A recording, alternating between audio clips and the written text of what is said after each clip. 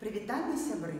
Сёння мы з вами зноў сустрэліся і будзем вывучаць прадаўжаць гісторыю рымскай імперыі. І тэма сённяшняга нашага урока ўлада імператара. Мы пазнаёмімся з імператарамі, з іх справамі і ўчынкамі. Але перша хачу вам загадаць загадку. Нам на уроку спатрэбіцца тэлефон і манеткі. Для чаго? Адказ чытае ў канцы урока. У першым стагоддзі да нашай эры ўзнікла рымская імперія.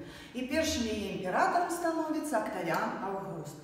Правіў дзяржавы на працягу 41 года, каб заваяваць сімпатыі простых людзей, насіў простае адзенне, раздаваў хлеб беднякам. У яго былі вельмі суровыя законы, якія асуджалі раскошу і амаральныя паводзіны. Именно с правлением Октавиана Августа спыніліся грамадзянскія войны. Ён загадаў нават у Рыме пабудаваць алтар міру у знак богіні міру. У руках імператора была поўная ўлада. І ён быў і вярхоўным жрацом, і галоўным суддзёй, і народным трыбунам, і галоўным камандуючым. Наступным пераемнікам становіцца Тыберый. Спачатку не хацеў быць імператарам, але гэта было толькі прытворства. Стаўшы імператарам, праявіў сябе як жорсткі кіраўнік і, баючыся помстам, нават пасяліўся на востраве. Стаў імператарам уже ў сталым узросце, калі яму было 55 гадоў і кіраваў дзяржавай на працягу 21 года. Але за весь гэты час ні разу не звярнуўся да ўрачоў. Як вы думаеце, чаму ён што не хварэў? Ды не, ён вельмі пагардліва адносіўся да іх.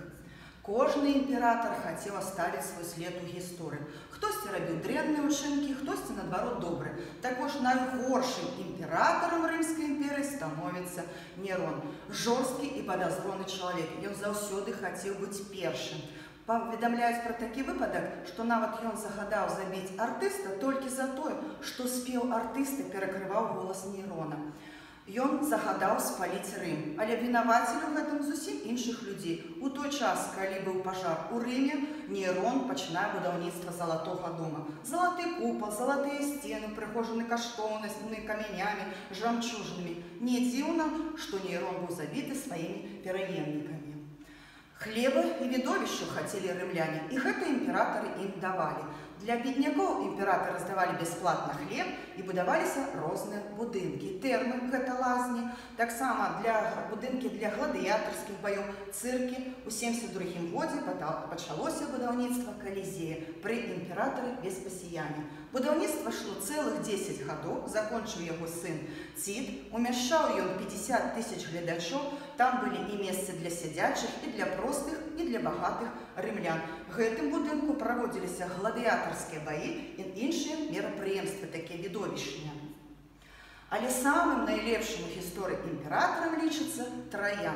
Именно часы яго кіравання спыніліся даносы, праследаванне грамадзян, у тым ліку і хрысціян, якіх праследуюць той час, Ён вельмі шмат ваяваў, пры ім рымская імперыя дасягнула значных памераў за ўсю сваю гісторыю існавання больш чым 5 стагоддзяў. Ён быў як вядомейшы выдатнейшы будаўнік, архітэктар, вядома у гонар перамогі з варвамі калона траяна. З трэцяга стагоддзя імператор стаў адзіным кіраўніком дзяржавы. Яго асова была свяшчэннай, недатыкальнай, бажэственнай. Імператор кіраваў арміяй, Толькі ён вырашаў пытанні вайны і міру, была вялікая колькасць чыноўнікаў, якія сачылі за выкананнем законаў і зборам падаткаў. Толькі ён прызначаў намеснікаў у правінцыі. За знявагу да імператара былі вельмі жорсткія законы. Гэта лічылася цяжкім злачынствам. Улада імператара перадавалася ў спадчыну яго сынам ці сваякам, але часта здаралася так, што імператара ставіла армія, сенат або імператарам станавіліся ў выніку грамадзянскіх войнаў.